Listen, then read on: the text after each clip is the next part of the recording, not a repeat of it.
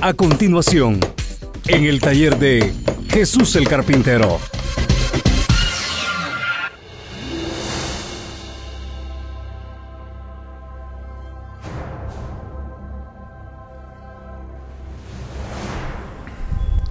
Bueno, damos gracias a Dios en estos momentos y una vez más, gracias a todos ustedes, hermanos, hermanas, que siempre están pendientes de esta programación. Le doy gracias a Dios por la vida que me concede y la fortaleza para estar con ustedes y compartirles un mensaje más de la palabra de Dios. Así es que en estos momentos, como siempre, yo creo que siempre yo los sorprendo, ¿verdad? Porque para los que me están mirando, acá detrás mío, tengo una imagen. Y siempre pongo las imágenes para que me entiendan mejor el mensaje. Acá detrás mío, para los que no me están mirando en estos momentos, que solo me escuchan a través de una radio, tengo una imagen, la imagen de un sacerdote católico bautizando a un niño pequeñito, podríamos decir de pocos días de nacido. Ahora, yo pienso que debemos nosotros de ser personas serias, de ser personas sabias y de no escandalizarnos por nada, porque lamentablemente entre los cristianos Muchas veces habemos cristianos muy fanáticos de la religión. El verdadero cristiano no es fanático. El verdadero cristiano es serio, es sabio, sabe ser amigo, sabe comprender a los demás y sabe sobrellevarse con los demás que creen en Dios. La verdad es que siempre ha habido diferencias en nuestra manera de interpretar la palabra de Dios. Pero siempre que encontramos testimonios en la Biblia, nos damos cuenta que jamás en la palabra de Dios se busca menospreciar a nadie porque de pronto uno sienta que tiene lo mejor en cuanto a la religión o la creencia. Así es que mis hermanos, mis hermanas, una vez más, si usted se pregunta, ¿por qué tengo la imagen de un sacerdote católico bautizando a una criatura? Es que el tema va por ahí. Al tema, mis hermanos, mis hermanas, le he titulado en este día, ¿por qué los cristianos no bautizamos niños o infantes para que se entienda mejor. Tengo la necesidad y la obligación de dar un estudio acerca de este tema, porque con tantos hermanos que me miran y que me escuchan en la televisión y que constantemente me escriben por Facebook, o todos aquellos hermanos que nos visitan en la iglesia, que por lo regular, cada vez que yo me doy cuenta de que tenemos visitas de la iglesia católica, los quiero saludar y de pronto los invito a sentarse un poco en privado. Allí es donde ellos me dicen que son católicos, que me escuchan, que se gozan. Y ahí es donde a veces me preguntan con esa confianza que yo les doy y me dicen, hermano Rodríguez, ¿por qué ustedes los cristianos no bautizan a los niños pequeñitos de días como nosotros lo hacemos en la iglesia católica? Bueno, a los que he tenido a la mano les he dado una pequeña explicación hasta que ellos quedan satisfechos. Así es que por tantas personas que me han hecho esta pregunta y para muchos hermanitos católicos que me están mirando, que seguramente se hacen la pregunta, ¿por qué los cristianos se bautizan ya de cierta edad para adelante, es decir, de la adolescencia para adelante. Yo voy a darle contestación a esa pregunta. Y déjeme decirle, si tengo hoy una imagen de un sacerdote bautizando a una criatura, no es para burlarme de la Iglesia Católica.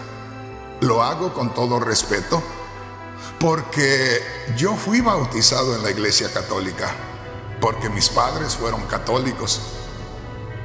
Y yo debo de guardar un respeto especial por la Iglesia Católica. Creo que Dios no nos autoriza para maltratar no solamente a la Iglesia Católica, a nadie. Y yo creo que aquí debemos tomar en cuenta lo que nos enseñan las sagradas escrituras. Si usted no sabía, el Espíritu Santo, a través del apóstol Pedro, nos habla de cómo debemos comportarnos cuando alguien nos pregunte acerca de lo que nosotros creemos y por qué hacemos las cosas de cierta manera. Y como nuestros temas siempre deben de ir sustentados o sostenidos por las Sagradas Escrituras, yo les invito a que vengan conmigo y a que leamos en la primera carta del apóstol Pedro, en el capítulo 3, y vamos a leer los versículos 15 y 16. Les voy a leer en la Biblia traducción en lenguaje actual. Dice así, honren a Cristo como Señor y estén siempre dispuestos a explicarle a la gente por qué ustedes confían en Cristo y en sus promesas. Pero háganlo con amabilidad y con respeto. Pórtense bien como buenos seguidores de Cristo. ¿Se da cuenta? Cuando nosotros no damos una razón con sabiduría y con respecto, cuando nosotros no damos una razón o cuando no contestamos con sabiduría y con respeto a quien nos pregunta, estamos siendo de vergüenza para Dios y su reino. Estamos avergonzando al Cristo que nos rescató. Una vez más se lo leo para que quede bien claro. Que no somos enviados por Cristo a andar peleándonos entre nosotros mismos. Cristo mismo dijo, refiriéndose a sus discípulos, y todo aquel que se considere discípulo de Cristo debe de escuchar esto con atención. Cristo dijo, en esto conocerán las gentes que son mis discípulos, en que se amen unos a otros. Si hay dos personas que se consideran seguidores de Cristo y están discutiendo y están peleando de cierta manera, ofendiéndose el uno al otro, no están demostrando que son discípulos de Cristo porque no están demostrando el amor el uno para el otro. Así es que mis hermanos, seguimos entonces. La pregunta es, hermano Rodríguez, ¿por qué ustedes los cristianos no bautizan a niños o infantes? La palabra infante, hermano, tiene referencia aquella criatura que todavía no habla. La palabra infante tiene que ver o significa aquella criatura de 0 a 5 años. Ese lapso entre 0 y 5 años es a quien se le aplica la palabra infante. Así es que la pregunta es, Hermano Rodríguez, ¿por qué ustedes los cristianos no bautizan niños o infantes? Bueno, yo les voy a dar, no, vamos a decir, le voy a hablar directamente, no le voy a estar haciendo una palabrería ahí. Voy a estar llevándole directamente a la palabra de Dios. La vamos a leer con mucho cuidado.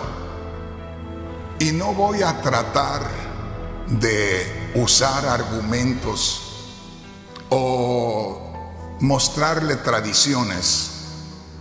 Vamos a leer la palabra de Dios y siempre recordando cuál es la pregunta. ¿Por qué yo como siervo de Dios y que yo digo que soy cristiano, no bautizo a niños o infantes? Venga conmigo y vamos a leer una escritura que a mí me mostraron cuando me enseñaron las primeras palabras del Evangelio. ¿Sabía usted que en la ciudad de Pomona, California, los primeros días del mes de enero del año 1977, vino un pastor cristiano a mi casa, traído por una mujer que había venido unos días antes a hablarnos la palabra de Dios aquella mujer habló con mi esposa. Mi esposa entendió, estuvo dispuesta a recibir al pastor, pero les dijo, yo les sugeriría que primeramente viniera el pastor a hablar con mi esposo, porque yo no quiero comprometerme hasta que mi esposo también acepte. Así es que ese fin de semana, ese sábado, por la mañana, a eso de las 10, 11 de la mañana, llegó a mi casa el pastor de aquella mujer que había hablado a mi esposa. Yo no sabía, mi esposa me explicó y me pidió que los recibiera. Por amabilidad los recibí. Y cuando aquel hombre comenzó a abrir su libro negro y a decirme que quería hablarme de la palabra de Dios, yo le dije, ¿sabe qué? La verdad, yo no le confío a usted. Y yo no confío en ese libro negro que trae.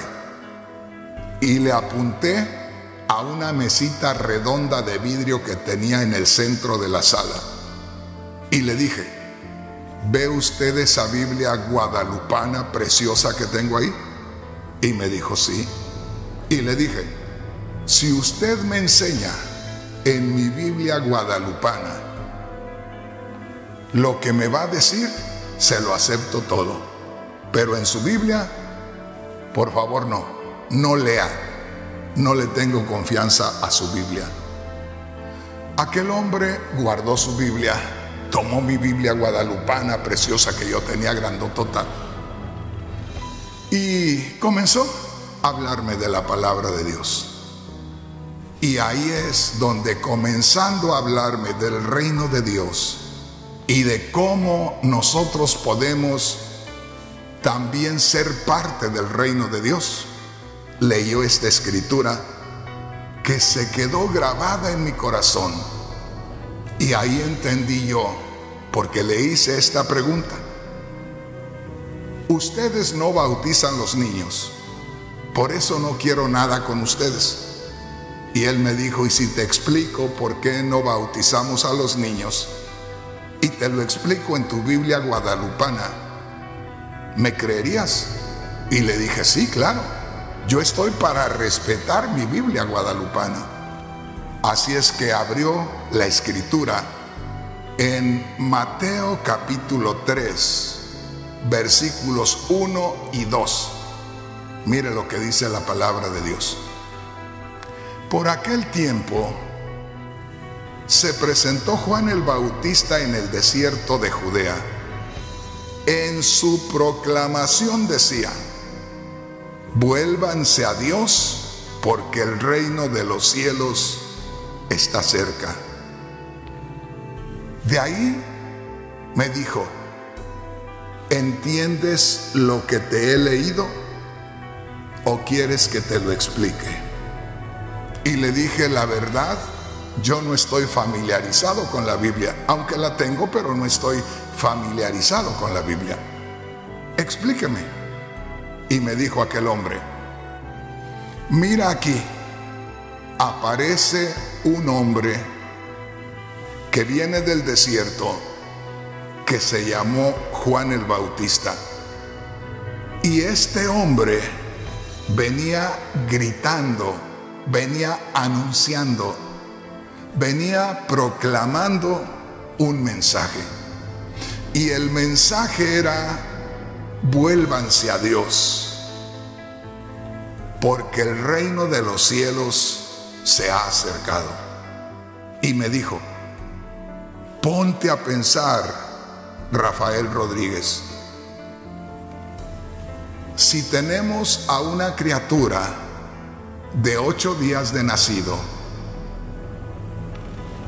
y le ponemos a Juan el Bautista que venga desde donde esa criatura pueda escuchar el sonido y que venga gritando lo que venía predicando Juan.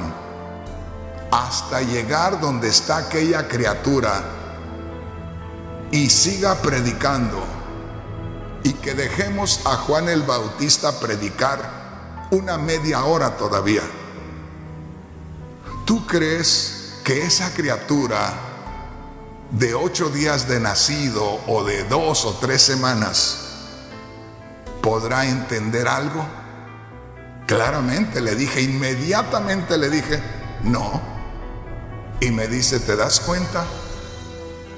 Aquí la Biblia, tu Biblia, está mostrándonos claramente que Juan el Bautista venía predicando a las personas que tenían entendimiento y les hablaba de volverse a Dios, de arrepentirse de sus pecados.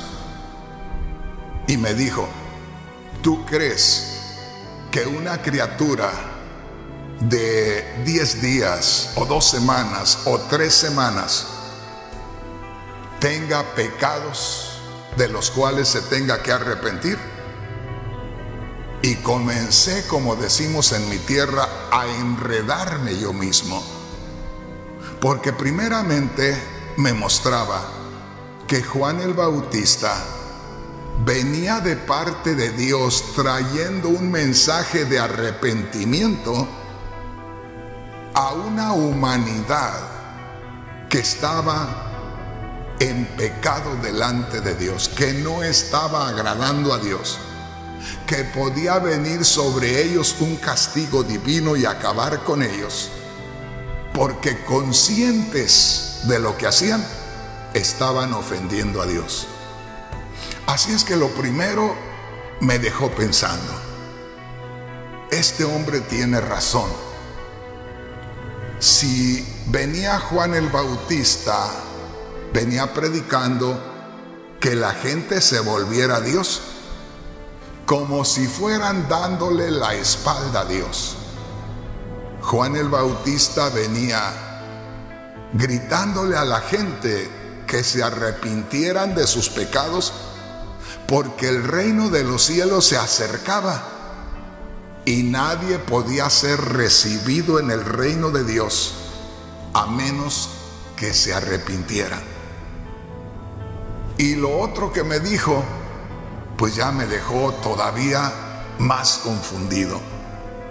Lo primero que me dijo, ¿será que si viene Juan el Bautista predicando y está ese niño de 10 días, de dos semanas, de tres semanas, y ponemos a Juan el Bautista que venga a una distancia donde ya podamos escuchar lo que viene diciendo, y si viene y se pone ahí, al lado de aquella criatura, y todavía lo dejamos una media hora que dé su mensaje, aquella criatura de 10 días, dos semanas o tres semanas, podrá entender el mensaje de Juan el Bautista?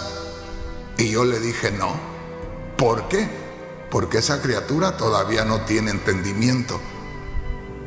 Y después me dijo, Juan el Bautista venía predicando y exhortando a la gente a que se arrepintiera de sus pecados. Y me dice, ¿tú crees que esa criatura de 10 días o de dos semanas o tres semanas tendrá pecados de los cuales deba arrepentirse? Y yo le digo, pues no. ¿Pecados de él mismo? Pues de dónde? Además, que lo primero que me dijo, y entendí, es que aunque aquella criatura escuchara el ruido, no entendía el significado de las palabras. Hermanos, hermanas, esto es fácil de entender. Todos los que han tenido hijos, me refiero a los padres que han visto a sus niños desde recién nacidos, todas las madres que me están mirando y escuchando, que han tenido sus hijos, la criatura no nace pensando, entendiendo, fíjese bien, y pecando. Nosotros nos damos cuenta y las madres de familia están muy conscientes de esto, que una criatura hasta unos tres o cuatro meses se le tiene que estar hablando a que la criatura se familiarice con lo que escucha. Y comenzamos, sobre todo las madres, enseñándoles palabras. Ma, ma, pa, pa. Y así comienza hasta que la criatura va aprendiendo, no conoce el lenguaje, no nace conociendo el lenguaje, hay que enseñárselo. Por el otro lado, no tiene el entendimiento como para poder entender y poder responder. Ni tiene el entendimiento porque se está familiarizando con su entorno, con esta nueva vida, con este mundo que no conocía, con esta gente que no había visto, con estos sonidos que no había escuchado. De manera que una criatura, un infante, no puede entender el mensaje.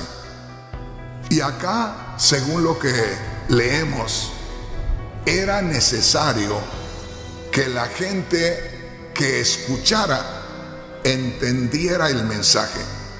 Era necesario que la gente que escuchara hubiera pecado y tuviera el conocimiento del pecado y reconociera que había pecado. Entonces vemos aquí que dice la palabra de Dios. Mateo capítulo 3 versículos 1 y 2.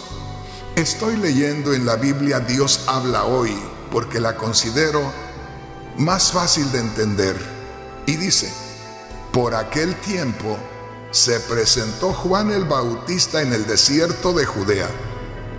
Y dice el verso 2, en su proclamación venía proclamando, venía anunciando, traía un mensaje para los habitantes de aquellos lugares.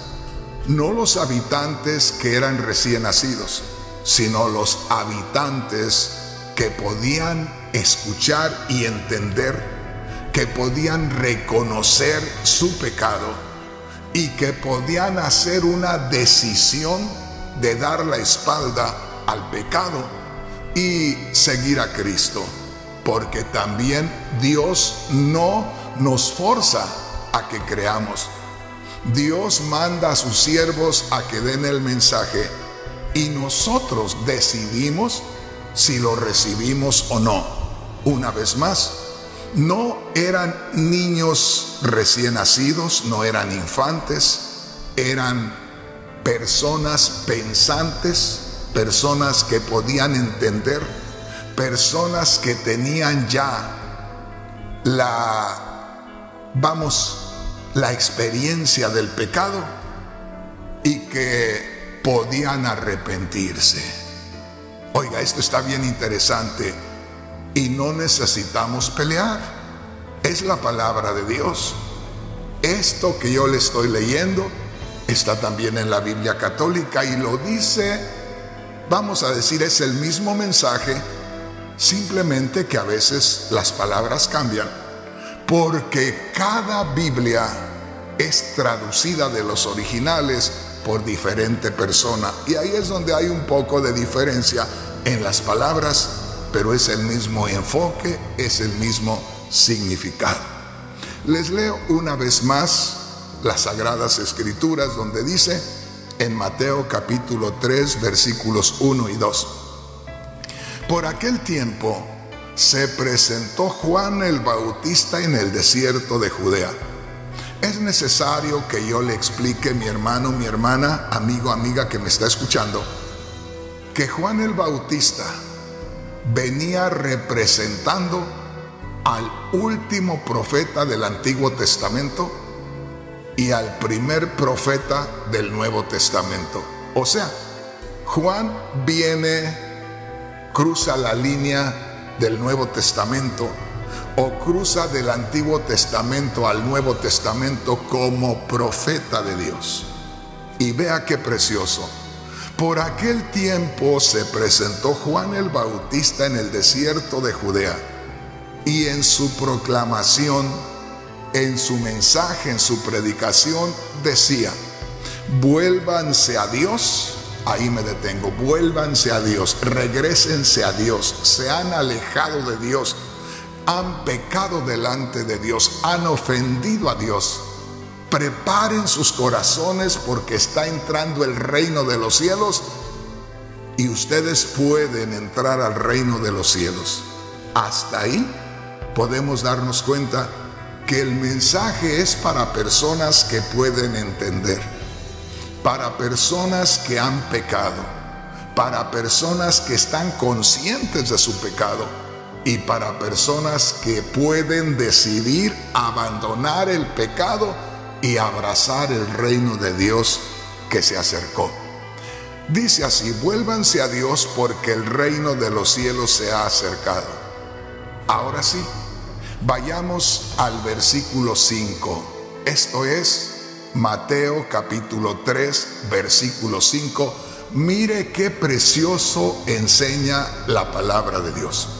Dice el verso 5, la gente de Jerusalén y todos los de la región de Judea y de la región cercana al río Jordán salían a oírle, confesaban sus pecados y Juan los bautizaba en el río Jordán. Hermano, hermana, la palabra de Dios es maravillosa. La palabra de Dios es gloriosa y nosotros debemos someternos a la palabra de Dios. Nosotros debemos ampararnos bajo la palabra de Dios. Es por medio de las sagradas escrituras que nosotros conocemos de Dios. Llamémonos como nos llamemos en cuanto a la religión pero si usted se asoma por ahí en la religión y hay una Biblia, entonces debemos regirnos por la palabra de Dios.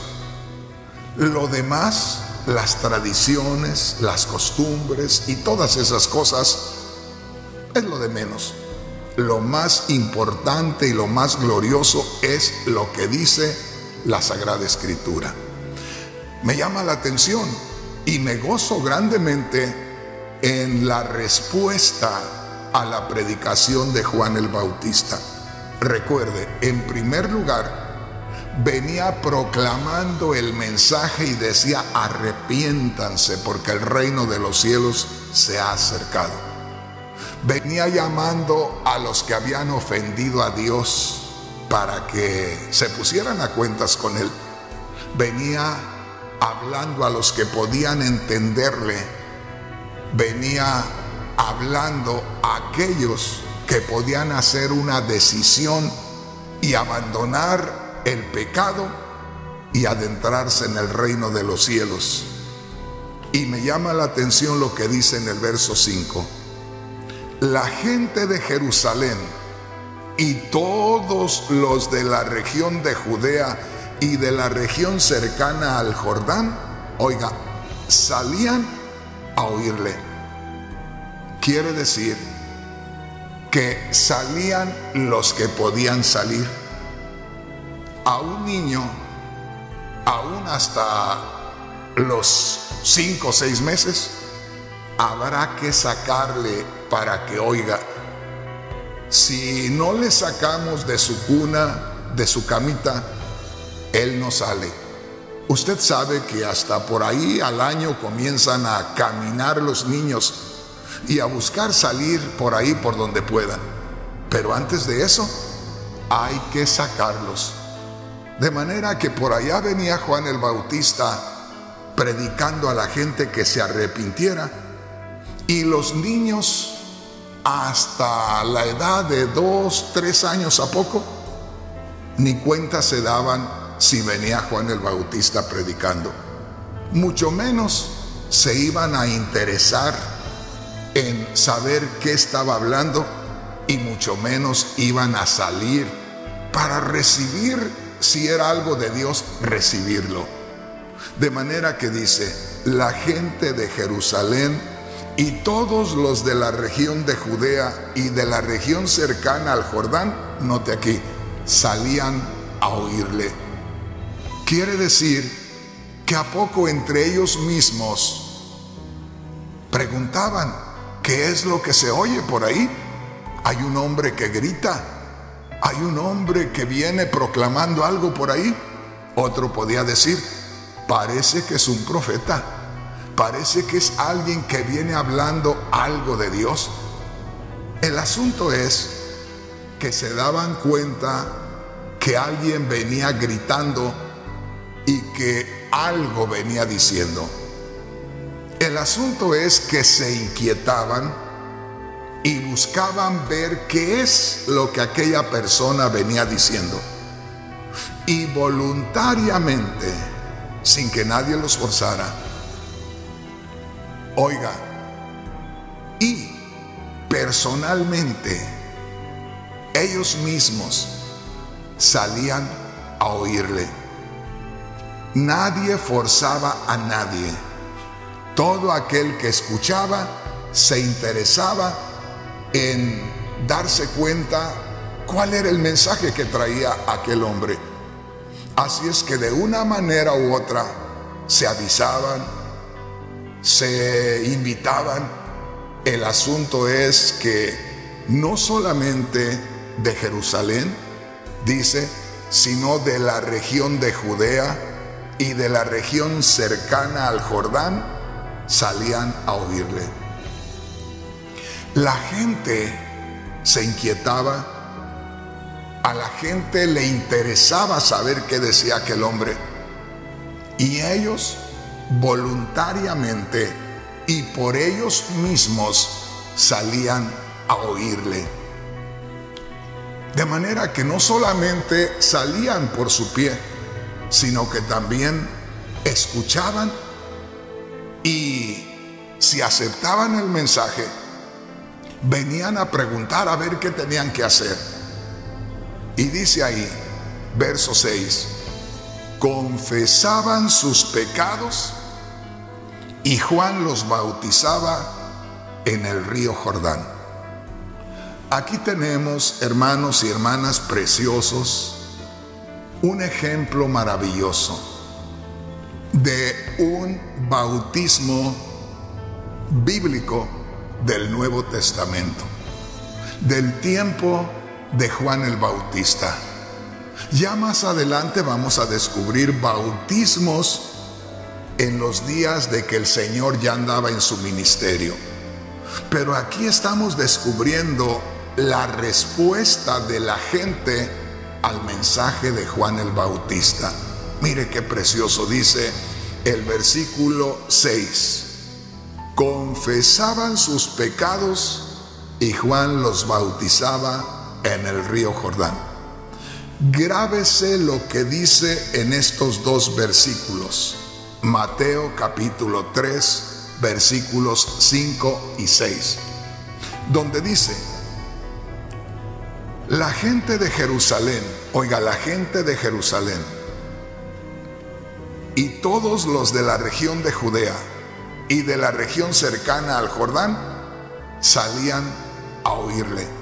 En otras palabras, toda la gente capaz de entender lo que oían, salían a ver qué era lo que traía aquel hombre. Y todos aquellos que salían oían a aquel que venía gritando y entendían lo que decía. Dice aquí, confesaban sus pecados. ¿Se da cuenta? Cuando dice confesaban sus pecados, seguramente que no es que Juan se ponía a recibir a cada uno para escuchar sus pecados. Simplemente la palabra que venía hablando Juan el Bautista, que venía con el poder del Espíritu Santo, porque la Biblia dice que Juan el Bautista venía envuelto en un poder del Espíritu Santo, lo mismo que vino el profeta Elías. En otras palabras, la predicación de Juan el Bautista, donde se escuchaba, hacía dos cosas. O hacía temblar a unos y los hacía entender y llorar por lo que habían cometido delante de Dios y abrazar el reino de los cielos y pedir a ver qué iban a hacer. O definitivamente rechazaban a Juan, rechazaban su mensaje y renegaban de Dios. Solamente dos cosas se pueden hacer cuando se escucha la palabra de Dios.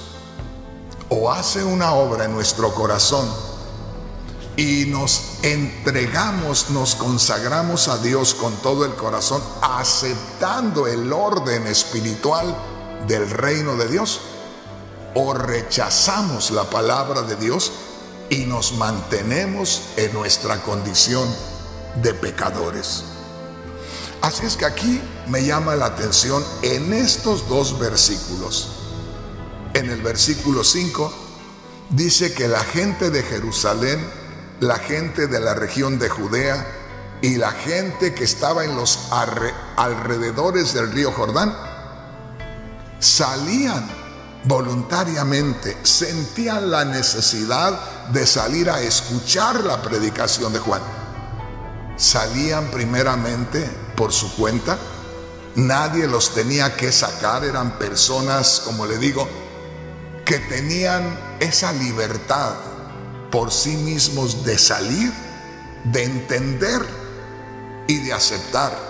Porque aquí dice en el verso 6, confesaban sus pecados. Me imagino yo aquella gente al escuchar la predicación de aquel profeta, sentían que en su corazón les quemaba algo y ahí mismo caían de rodillas.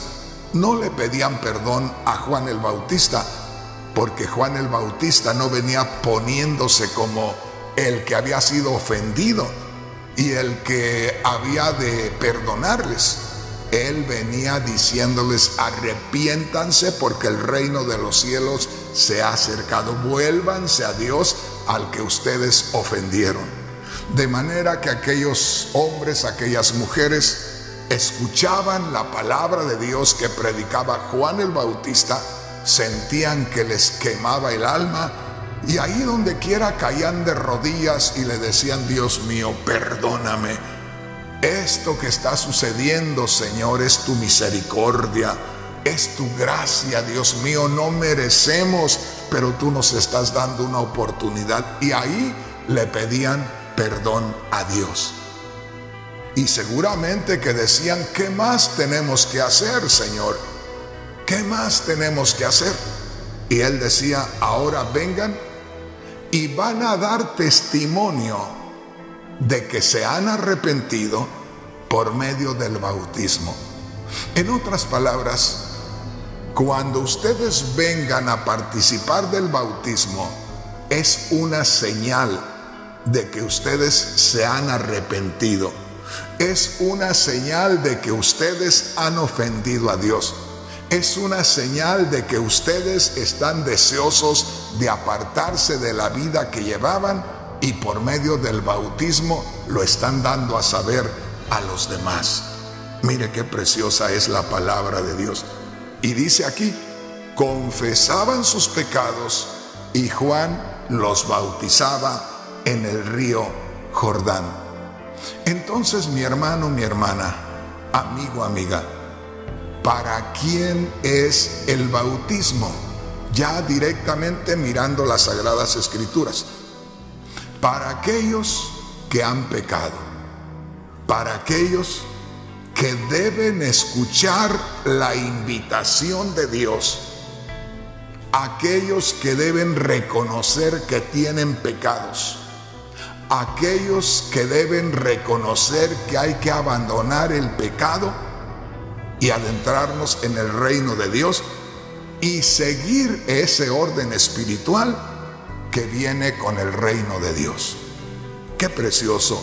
Salían a oír a Juan el Bautista, confesaban sus pecados y Juan los bautizaba en el río Jordán.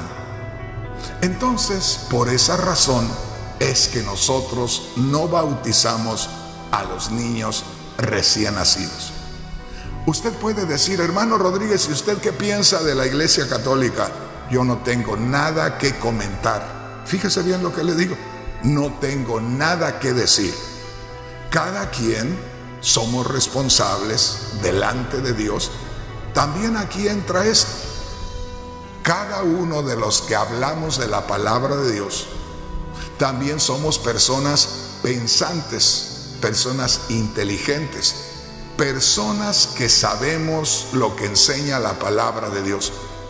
Yo no tengo que decirle a nadie, y oiga bien lo que le digo, yo no tengo que decirle nada a nadie de los que me están escuchando que si está bien o está mal, que hágale aquí o hágale allá. Yo le leo la palabra de Dios. Trato de explicarle la palabra de Dios. Si en alguna parte yo estoy equivocado, tenga la plena libertad de decirme, hermano Rodríguez, está usted equivocado y convénzame de que estoy equivocado. Pero yo le explico la palabra de Dios y yo hice mi trabajo. ¿Le tengo que criticar o le tengo que juzgar o le tengo que condenar? ¿Quién soy yo para criticarle? ¿Quién soy yo para juzgarle? ¿Quién soy yo para condenarle? Así es que se me pide a mí una razón, se me ordena por el apóstol Pedro, inspirado por el Espíritu Santo, que yo conteste con sabiduría, con respeto, y es lo que estoy haciendo. Y le estoy explicando la palabra de Dios, que es maravillosa, porque estamos descubriendo cosas maravillosas. Yo le aseguro que hay cristianos que tienen muchos años de ser cristianos y aún hay predicadores que me están escuchando que pueden decir, de veras que yo no me había puesto a pensar en enseñarlo de esa manera. ¿Cuántos predicadores habremos ofendido a la Iglesia Católica y no estamos haciendo las cosas bien? Te voy a decir algo. En cierta ocasión, el pastor que a mí me bautizó platicaba con uno de los que yo les había hablado la palabra de Dios. Y hay veces que en ciertas organizaciones cristianas se llevan a cabo cosas que no tienen muy buen fundamento bíblico.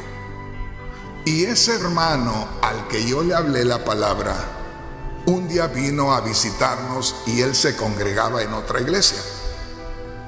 Y platicando con mi pastor,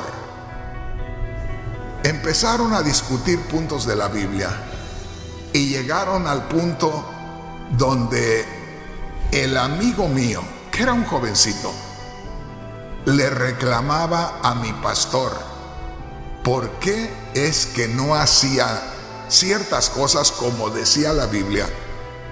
No te voy a explicar lo que le dijo, pero ese era el punto.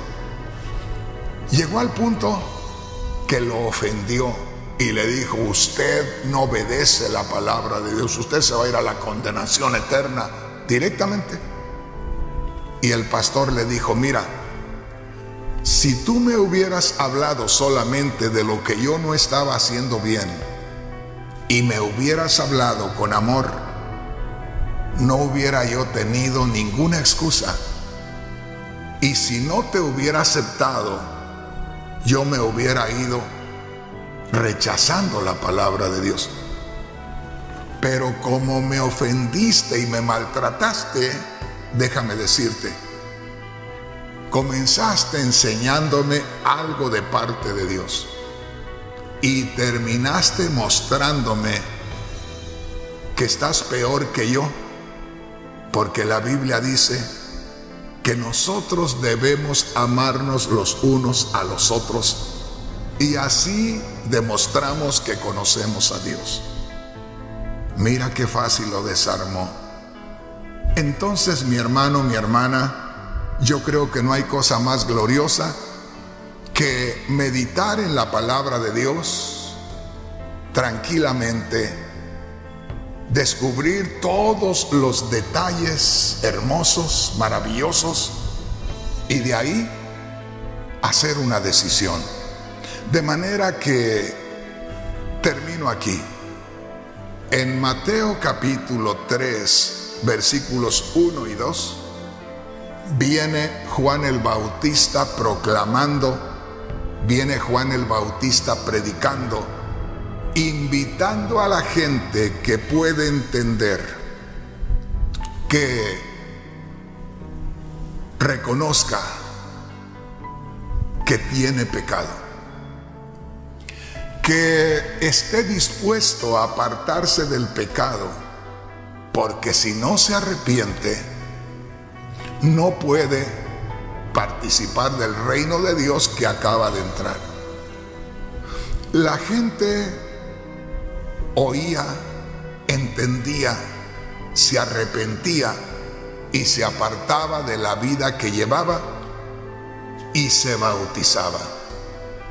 Entonces, yo lo que entiendo por la palabra de Dios, que el bautismo es una señal y debe de venir después de haber entendido el mensaje del reino de Dios que llega.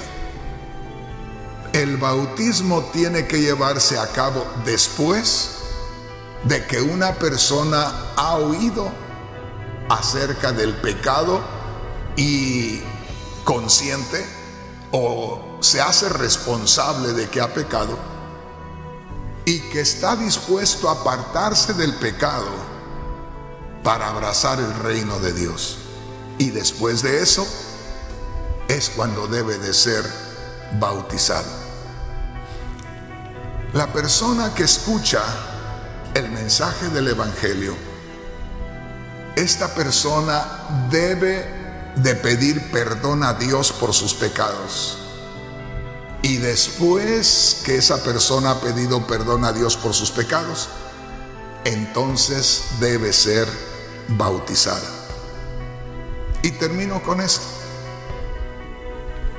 Cuando una persona está siendo bautizada, está dando testimonio que era pecador que se ha arrepentido de sus pecados, que abandona esa vida antigua y que ahora es parte del reino de los cielos. Cuando una persona se está bautizando, está dando testimonio, está mostrando a los demás que ahora se ha arrepentido. Entonces, mis hermanos, mis hermanas, por esa razón, nosotros los cristianos, al menos yo en lo personal, en lo particular, No bautizo recién nacidos o infantes. Y bautizo personas que ya entienden inclusive. Yo he bautizado pequeños, adolescentes, hasta de ocho años. Porque un niño de ocho años ya escucha constantemente la predicación y la entiende y de pronto se quieren bautizar ellos mismos. Ellos mismos se quieren bautizar. Y yo les pregunto por qué se quieren bautizar. Y después todavía les explico lo que simboliza el bautismo. Y se bautizan ya conscientes de que entendieron la palabra del Señor. Así es que mis hermanos, mis hermanas, no me voy más allá para no cometer el pecado de ofender a alguien, porque yo creo que hablando con sabiduría, hablando con respeto a Dios y a nuestros semejantes, podemos llegar mejor a un acuerdo tomando en cuenta a Dios los unos y los otros.